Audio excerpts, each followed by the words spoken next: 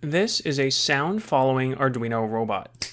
It uses two microphones mounted on the front of the robot to drive toward a sound source. This works because the sound will appear louder to the microphone closer to the source.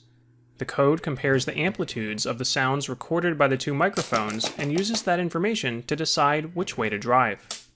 Applications where this could be useful include things like autonomous cars and search and rescue robots.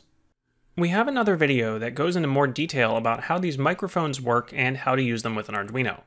And if you follow the link in the video description, you'll find a complete parts list and circuit diagram to build this robot.